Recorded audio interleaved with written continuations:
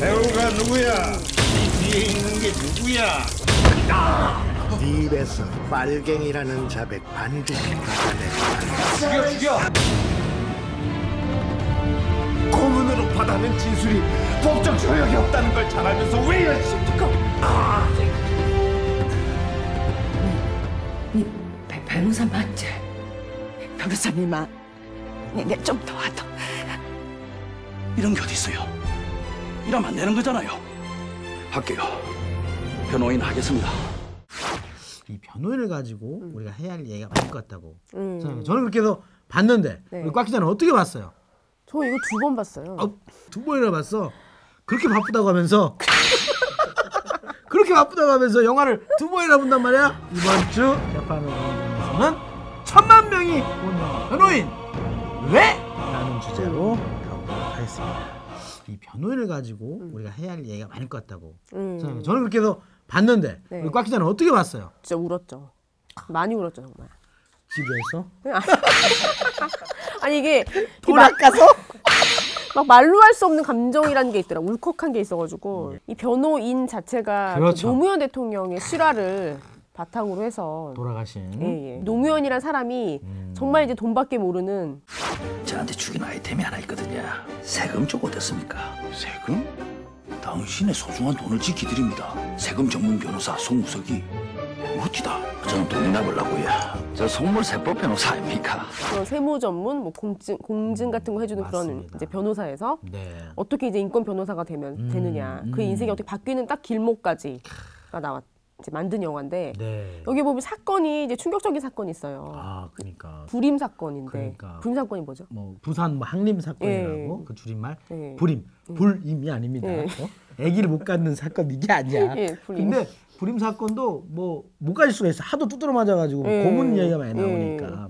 정말 81년도에 예. 어, 전두환 정권 시절에 예. 어, 공산주의자를 뭐 이렇게 찬양하게끔 예. 이런 사람들을 막 잡아 가두면서 예. 자기네 정권 어떤 정체성을 예. 어, 받아들이기 위해서 예. 조작한 그쵸 빨갱이들을 만든 음, 사건이죠. 빨갱이 사건이라는 게 제가 생각하는 거고 예. 좀더 쉽게 예. 어, 정치학 석사로서 어, 불임 사건이 어떤 사건인지 이게 이제 불임 사건 아까 말씀하신 대로 부산의 항림 사건이고 네. 항림 사건은 그 전에 서울에서 있었어요. 근데 서울대 그렇지. 학생들을 대상으로 해서 이제 사회과학 음, 뭐 이렇게 독서 모임이나 책을 읽는 그런 학생들을 음, 이제 완전 간첩단처럼 몰아가지고 음. 그 학생들을 이제 고문하고 조작해가지고 음. 실제 국가고안법 위반으로 이제 기소를 한 사건인데 나도 했는데 나도 어제 동아리 활동할 때 음. 사회과학 서적을 어, 나름 읽었습니다. 그 뭐그 읽는다고 공산주의자 돼?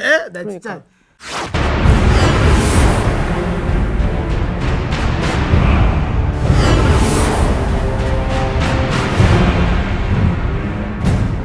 불임 사건이 어, 이 영화의 음. 주 소재잖아요. 음, 전두환 신군부 초기에 음. 이제 어떤 그 용공 조작 사건의 하나인데요. 네. 81년 3월부터 해가지고 음. 이제 여러 가지 사건들이 있었고 네. 그 다음에 이제 부산에서도 항림 음. 사건하고 비슷하게 사회과학 모임을 하는 이제 학생들에 대해서 또 그렇죠. 공산주의자로 낙인시키려고 그 책들에 대해서 다 불원서적으로 규정을 했어요. 맞습니다. 그래서 예, 예. 국가보안법 위반이라고 해서 이 학생들한테 온갖 다 고문을 받아서 증언을 조작하고 음, 음. 또 재판을 해가지고 아마 그때 구형이 한 7년 정도 음. 됐었고 아, 우리 좀 받을 거라고 생각은 했지만 징역 10년을 구형하는데 아 등줄기가 서늘해지더라고요 느낌이 구형량을 다 따지니까 뭐 100년이 넘었던가 그랬을 거예요.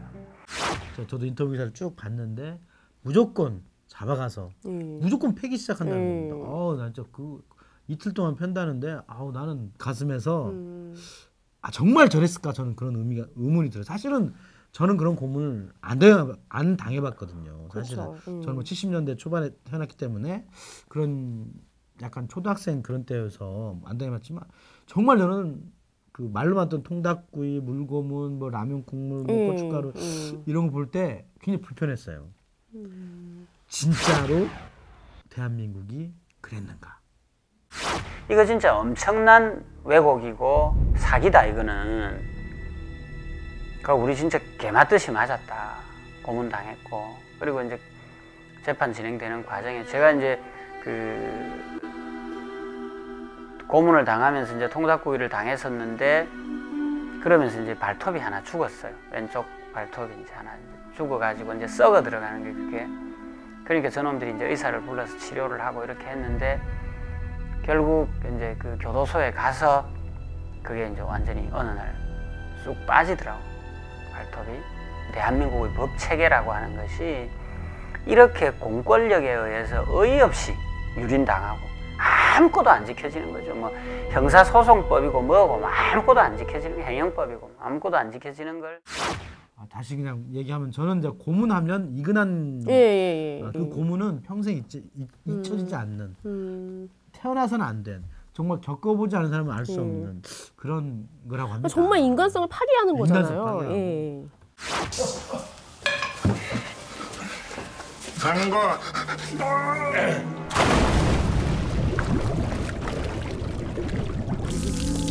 거. 빨갱이잖아 이 새끼야.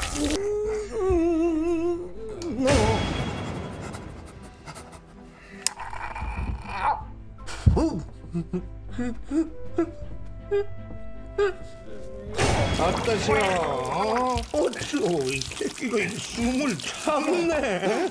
숨을 참아도 소용없어요. 어차피 고춧가루는 폐로 들어갑니다.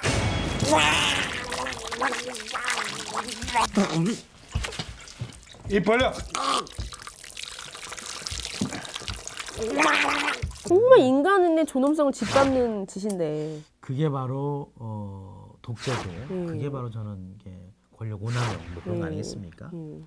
아좀 그런 것들이 지금은 육체적인 건 아니지만 정신적인 고문들을 당하는 사람도 많이 예, 있거든요. 그렇죠. 네, 꼭 물리적인 고문만 있는 게 아니니까 그런 것들을 좀 많이 시사하는 바가 있는 것 같아요. 변호인은 음. 거기에서 가장 기억에 남는 건 뭐가 있습니까?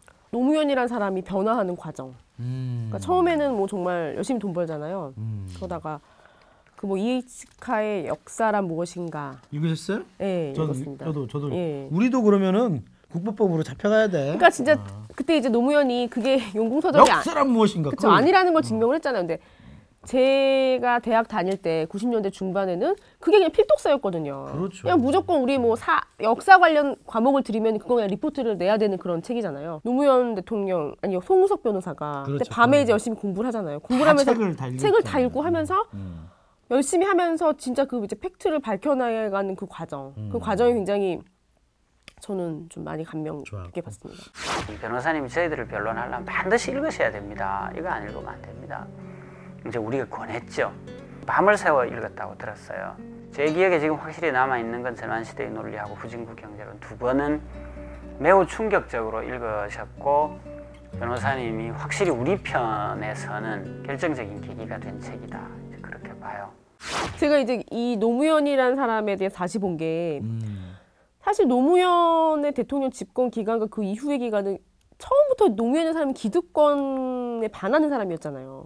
그러니까 정말 기득권이 아닌 고졸 출신의 사법고시를 붙고 그다음에 판사가 되고 서울대, 연대 고대, 내 상고 출신 고졸 기출지도 않아. 야, 이 악물고 실력으로 버티다 이가.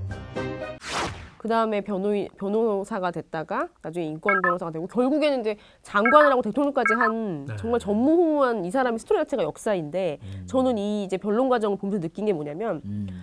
이 사람이 어떤 정말 서울대 법대 나오지 않았고 법학 학사가 아니고 그렇기 때문에 기득권이 아니기 때문에 정말 새로운 시각으로 그 재판을 할 수 있었던 것 같아요. 거기 보면은 나오는 게 그 원래 이 사람 말고 변호인으로 데리고 온 사람이 형량을 조절을 계속 하잖아요. 맞아, 맞아. 예. 그 사람은 이제 보통 변호인들은 그래요. 왜냐하면 국보법 같은 경우에 그 시대에는 이거를 무죄라고 생각할 수가 없죠. 이미 다 이미 다 유죄로 다 맞춰서 온 거기 때문에 그렇죠. 그거는 당연히 이제 유죄라는 전제 하에서 음. 형량 가지고 쇼부를 때리는 건데 그래서 뭐 5년, 3년, 5년, 7년 뭐 이런 식으로 쇼부를 네. 때리는 건데 이 사람은 그게 아니라 자기가 책을 보고 하니까 고문으로 지적된 거는 증거가 아니가 죄가 아니다라는 생각을 하잖아요. 그래서 끝까지 그걸 뒤지는 걸 보면서 하, 그 노무현이 정말 그 당시에 변호사나 판사나 검사 때 정말 개또라이였을 거예요. 노무현 변호사님은 우리와 재판을 시작하고부터는 우리와 한 편이었어요. 거의 이제 공범 수준을 수준이 돼가지고 이제 변론을 한 거죠. 공소사실, 질문 이런 거에 대하여 또는 판사의 언급에 대하여 어떻게 그게 말이 됩니까? 어떻게 그럴 수가 있습니까? 이러면서 이제 감정적으로 격앙이 되면서 막 큰 소리를 내기도 하고. 나중에 판결이야. 뭐 어떻게 때리든지. 그거는 그 다음 일이고. 이 인간이 이거 당연히 유죄인데 이거 유죄고 형량을 줄일 생각을 네가 해야지 싸바싸바 판사한테 해가지고 검사랑 조당 쳐가지고. 그렇죠. 근데 이 사람은 이거는 유죄다 무죄다라는 거를 자, 자기가 직접 자기 신념에 맞게 싸웠잖아요. 저러다가 원래 판사가 때리려고 했던 것보다 더 많이 때리겠다 판사가. 도대체 변호인이 피고인들 형량을 줄여주는 데는 관심이 없고 오히려 피고인들 편을 들어가지고 더 과격하게 피고인들보다 더 과격하게 얘기하니 저게 도대체 뭐 3년 받을 거 5년 받고 5년 받을 거 7년 받고 이래 되는 거 아이가 가족들이 막 가슴이 졸여가지고 뭐 어쩔 줄을 몰라 했어요 특히 우리 아버님 같은 경우 저 변호인 저래도 되나? 어떻게 보면 이 노무현이라는 사람은 어떤 사람인지를 좀 극명하게 보여준 것 같아요. 그러니까 인권 변호사로서 전환하는 과정과 그리고 이 사람이 이 사람의 삶이 다르잖아요. 삶이 다르기 때문에 다른 시각으로 봤고 결국엔 그게 어필돼서 나중에 대통령까지 된 사람이니까. 근데 지금 딱 보면서 이런 진정성이나 이 사람의 본심 같은 걸 보게 되니까 좀 많이 느끼는 바들이 좀 있더라고요. 저도 노무현 대통령에 대해서 잘 잘 몰랐군요. 음. 잘 몰랐습니다. 사실 뭐 청문회 스타 전두환이나 이제 한테 막 강하게 얘기하고 그런 열정적인 모습만 음. 보면서 한편으로는 제가 오해했던 측면이 이 영화를 보고 딱 해소된 게 있습니다. 요트 아, 호화 요트 음. 논란인데 저는 음. 지금까지 영화 변호인 보기 전까지는 아 노무현 대통령도 처음에는 돈 벌기 위해서 음, 했다 그래서 음. 돈 많이 벌어가지고 음. 호화 요트 타고 다녔다 음. 그렇게만 생각을 음. 하고 있었는데 아니더라고요. 이건 음. 팩트에 근거한 얘기인데 아무튼 경주형 요트를 자- 본인이 사가지고 음. 88 올림픽에 나가기 위해서. 연습하고 그렇게 해서 좀 대한민국 최초로 한번 예. 해보겠다 해갖고 예. 사진도 나오잖아요. 예. 조그만한 그러니까 저도 깜짝 놀랐어요. 그 여러 명이서 80만 원, 그 120만 원짜리 요, 요트라고 하더라고요. 뭐 그것도 비싸. 뭐 그러면 어쩔 수 없지만 그럼 음. 뭐 1,200억, 뭐 1억 2천 이런 거 이런 걸 해야 호화 요트라면은 억 단위도 가고 뭐 이래야 되는 거지. 저는 아 내가 알고 있던 노무현 좀 잘못 알고 있었던 측면이 있구나. 음. 분명히 그런 부분도 좀 많이 생각했습니다. 그거를 이용했던 게 월간조선 조선일보가 음. 아, 그, 그 당시에 호화 요트 타고 다녔다고 얘기했다면 이인재도만요. 이인재 씨 아. 대통령 경선 당시에 그렇게 어? 아. 얘기하면서 저런 노무현 대통령이 호화요트 타고 다니고 했던 그 호화요트 짜리가 100만 원짜리입니다. 재판을 해서 또 판결도 나왔습니다. 예. 명예훼손이라고. 그래갖고 보도도 정정 보도 나가고. 예. 그렇지만 이미 낙인 찍힌 잘. 몰랐죠 사실 저도. 사람들이. 예. 저는 하지만 좀 잘 살았던 놈이지만 조금 음. 뭐 약간 좀 마음 변해서 조금 착해졌어. 이런 이미지만 갖게끔 만든 거지. 음. 그래서 언론의 역할이 예. 굉장히 중요하고 예. 그 언론이 지금도 여전히 예. 그런 식으로 하고 있다는 생각이 음. 드니까 저는 매우 화가 납니다. 예. 진짜 매우 화가 나고 또 이상하게 어, 천만 관객이 예. 거의 어, 들어오는 그런 영화인데 예. 소, 소위 말하는 제가 KBS, MBC, SBS, 뭐 조, 조선중앙 동아, 뭐 기타 뭐 큰 언론들 예. 나 변호인 관련해서는 흥행 돌풍, 변호인 흥행 코드 요인 왜? 아 그럼 역대 흥행 뭐 천만 돌파한 메디 뭐 이런 거 다 나오잖아. 매주 나와야 될 거 아니야. 그렇죠. 왜 안 나오는 거야? 우리? 이해가 안 되는 게 쉽게 왜안 나오는 거야? 변호인은 왜 안 나오는 거야? 우리 CBS 말고는 왜 안 써? 아니 서- 제가 이 변호인 직전에 본 영화가 설국열차거든요. 그 설국열차 난리 났잖아. 엄청나게 뭐, 뭐. 리포트 하고 뭐 어. 난리 났었잖아요. 뭐. 맨날 감독 뭐 불러서 뭐, 하고 뭐, 뭐 봤어. 거의 뭐 주말 내내 리포트하고 평일에도 하고 뭐 그냥 단골 메뉴였거든요 문화부에서는. 근데 뭐 너무 안 다루고 있죠. 그나마 기껏 나오는 데가 한겨레. 한겨레. 조선은 이제 삐딱하게. 왜 예. 공격형으로? 예. 오마이뉴스 줄창 쓰고. 응, 오마이뉴스. 네, 그 정도지. 실제 지면에서 보기는 굉장히 힘들어요. 주요 일간지 지면에서 보기. 지면도 그렇고 저는 예. 지상파 소위 예. 종편에서는 뭐 나오지도 나오지도 않고 종편에서는 예, 예. 요즘 영화 안 보고 있나 봐. 아무튼 뭐 그러니까요. 음. 아무튼 왜 이렇게 안 다룰까요? 우리가 한번 짚어줘야지. 일단 이 변호인이라는 자체가 노무현을 그린 게 너무 확실하잖아요. 음. 근데 굳이 노무현 이 시대에서 지금 모르지 또 문재인이 대통령이 됐을 때 변호인이 나왔으면 또 모르지. 뭐. 엄청 빨아줬겠죠. 음. 뭐 줄창 나왔겠죠. 아주. 음. 근데 이렇게 많이 봤을지 모르겠는데. 근데 이 노무현이란 사람이 지금 정부한테는 좀 불편한 사람이잖아요. 맞습니다. 그래서 알아서 뭐 음. 굳이 뭐 리포트 할 거 많은데 음. 지금 대통령 기자회견도 했고 개최도 달아줘야 되고 뭐 순방도 가졌잖아요. 음. 근데 굳이 뭐 변호인까지 해야 되나? 음. 그냥 뭐 딴 거 하는 거죠. 맞습니다. 뭐 저도 뭐 어차피 6월 6월 달에 이제 지방 선거 있고 네. 어, 어떻게 보면 박근혜 정부의 네. 첫 시험 때가 될 수도 네. 있습니다. 네. 거기에 노무현 코드라는 것이 이제 크게 예. 타오르게 되면 네. 불리하게 되지 않을까라는 정치적인 판단이 있었겠죠. 그렇죠. 그거는 이제 정치권에서 하는 거고 네. 청와대에서 하는 거고 음. 그래도 언론의 역할은 아 똑같이 똑같이 해야 될 거 아닙니까? 그래서 네, 제가 네. 제가 그래서 역대 지금 우리 변호인이 매질을 하고 있는지 어, 티켓 판매 예. 들어온 사람들 순위를 보면 예. 1등에서 10등 1등이 아바타 2등이 도둑들 3번이 7번 방의 선물 4번 광해 왕이 된 남자 5번 해운대 6번 괴물 7번 왕이 남자 8번 변호인이에요 9번 아. 설국열차 10번 광상 아, 관상우 10번이 아니면 위가 되겠죠 1위 음. 그러니까 결국 지금 현재 2014년 1월 15일 기준입니다 음. 거기서 팔이요? 변호인이 무려 어. 8위입니다 어쨌든 어. 빡 넘버 10으로 들어간 예. 거는 대단한 음, 건데 대단한 건데 진짜. 아무도 대, 대답해주지 않고 있지만 음. 유일하게 그래도 관심 보여주고 있는 게 있어 네. 조선일보가 네. 삐딱하게 참 이렇게 보면 될 것 같다가 이렇게요. 삐딱하게 보고 있어 아, 오른쪽으로 봐야 되지. 어, 참 여기서 어, 혼자 삐딱한 관심 보이고 있는 조선일보 어떻게 네. 삐딱하게 있는지 한번 그 당시에 이제 수사 검사였던 고영주 변호사를 그러니까 인터뷰를 했는데 아주 그냥 좀내 음. 이분 얘기는 스타일 아니야 그쵸 공산주의자들 맞다 조작 사건이 아니다. 음, 확고하시더만 네, 아주 확고하시게 얘기를 영화 했어요. 변호인 엉터리다 예, 예. 자기는 노무현이 불임 사건 변호 맡은지도 몰랐다. 그러니까 완전 폄하하고 왜 모르겠어 근데 나중에 나쁜- 당시 피해자들의 증언을 들으면 몰랐을 리가 없다. 그때 노무현이 판사랑 싸우고 난리를 쳤는데. 난리 음. 고성을 지르면서 했다는데 그쵸. 말씀드렸습니다. 제가 진우 변호하겠다고. 오늘부로 송변 니는 네 편한 인생 네 발로 잡아 참기다. 최소한 진우만큼 무죄라고 믿습니다. 무죄면 무죄 판결 받아내야죠. 그게 내 일입니다. 포기 안 합니다. 절대 포기 안 합니다. 근데 그걸 어떻게 모르냐고 하더라고요. 뭐 초임 검사 어, 초임 예. 변호사에서 뭐, 예. 뭐 변론 기회도 없었다 뭐 이런 식으로 얘기하고 그쵸. 아무튼 전혀 아니라고. 어쨌든 이렇게 변호인 얘기를 쭉 하면서 대한민국 현재 의 음. 대한민국도 예. 저희가 한번 어, 얘기해 봤습니다. 네. 자 그렇다면 또 어, 이 영화를 꼭 봐야 할 사람이 누가 있을까? 누가 꼭 봐야 된다고 봅니까? 이런 이 영화를 음, 좀 강아지를 사랑하시는 우리 우리 대통령. 진돗개를 사랑하는 네. 그분이 네. 보셔야 되는데 지금 또 인도에 가 계셔. 예, 또 인도 갔다 스위스도 가신다면서요. 좋아. 예. 이 영화를 보면서 검사하고 국정원장하고 경찰하고 모여가지고 이 사건에 대해서 얘기를 하면서 다 조작하는 게 나오잖아요.